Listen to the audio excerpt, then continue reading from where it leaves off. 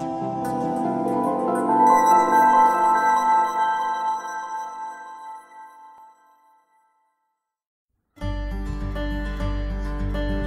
everyone, hope you all are doing well. I am Pooja and today I have come up with 5 practices that will help you to silence the noise in your mind. So let's look at all of them one by one. First one is spending some time in nature. By this I mean you can spend time in your balcony or on your terrace or you can visit nearest park or any other place which has got its own natural beauty. The reason why this is on top of my list is because this really does not require any other thing, just you in the nature, and this can be done at any part of the day.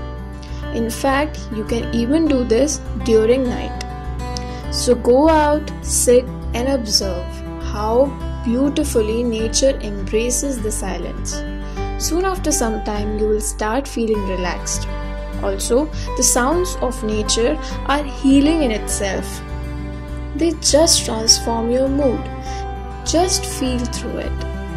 Make it a part of your daily routine to spend at least 10 minutes doing this. I'm sure you will see the change. Let's see what's second on my list. Living in the moment.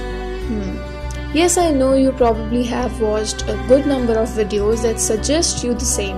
Also, some of you might have read various blogging articles and yet you all worry. I have a very simple formula for all of you. See, we are all humans. You agree it, right? We are not the Almighty. I mean, learn to acknowledge the fact that we are controlled by an entity and He does whatever He pleases. So just forget the past and leave the future and try to remember or recall the moments when you were happy because your prayers were answered by Him. Just be thankful and grateful for them. And you know what? Just start praying.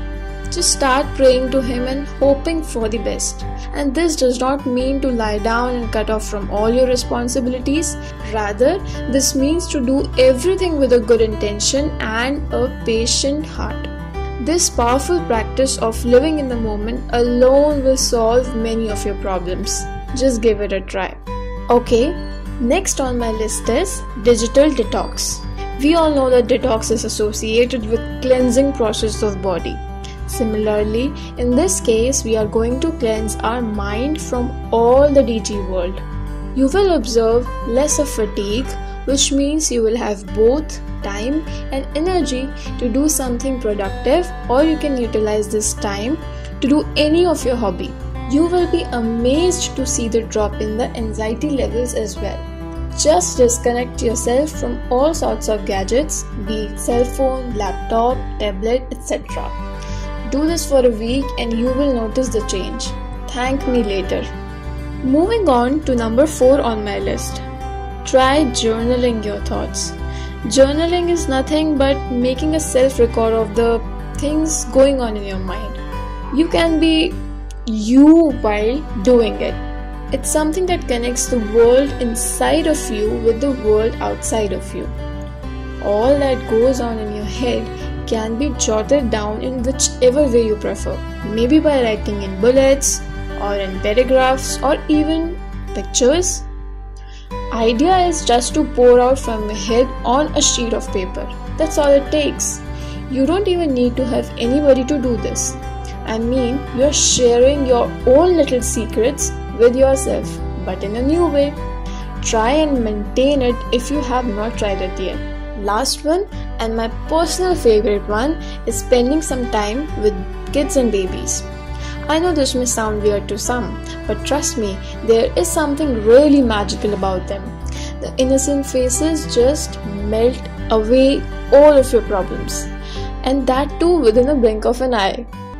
If you do not have babies around you, just use your phone and search for some cute baby related videos. I am sure they will bring smile on your face. And that's all we need. Try this. You will definitely love it. So this was my list of 5 ways to have peaceful mind. Try them out and let me know the results. And most importantly, share this with someone you think might be needing this. Till then, Do good, be good, pray a lot, and hope for miracles. Thank you.